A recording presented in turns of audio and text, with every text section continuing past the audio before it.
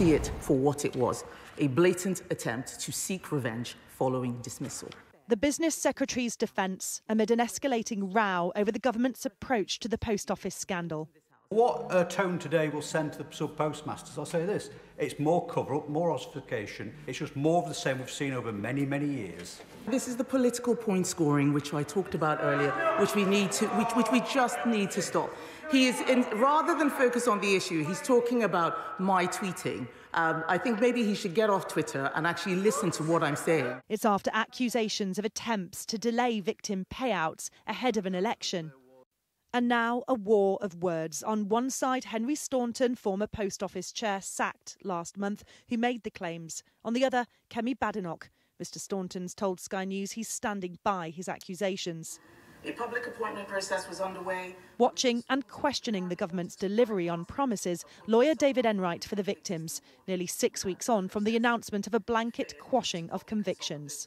It was a knee jerk reaction to a TV drama. Rather than sit down and come up with a plan as to what to do, they announced that effectively there were going to be two Christmases this year. And we all know there's only going to be one.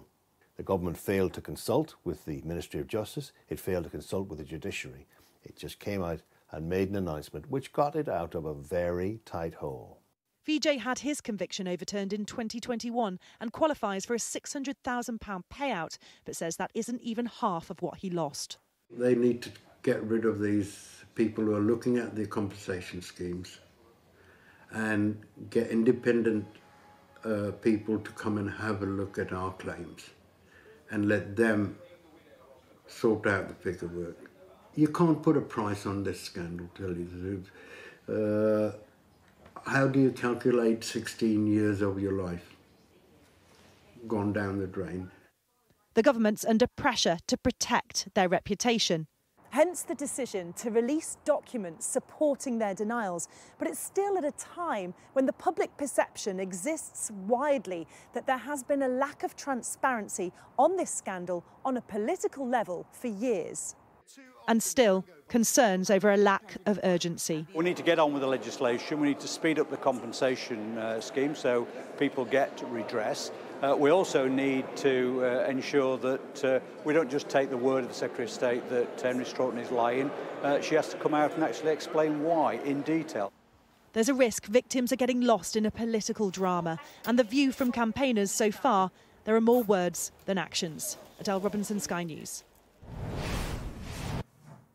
Well, in a statement this evening, responding to the Business Secretary, Mrs Staunton's lawyers said Mrs Staunton is not in the habit of resorting to fabrication or invention and decided to go public out of a desire to ensure that the public were fully aware of the facts surrounding the multiple failures that have led to postmasters in this country being badly let down.